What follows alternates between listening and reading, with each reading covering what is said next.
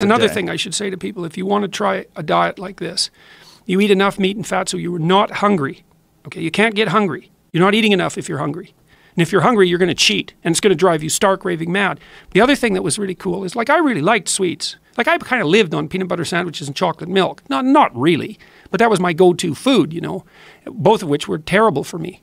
Um, but um, after I stopped eating carbohydrates for a month, the carbohydrate cravings went away.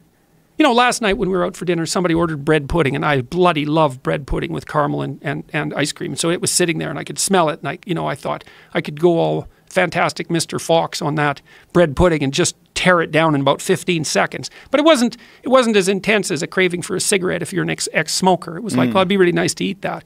But like, my appetite declined by about 75%, and that's been permanent. That's been so. There's a perverse thing for you. I eat way less, and now I'm not as hungry. Okay. Well, how does that make sense?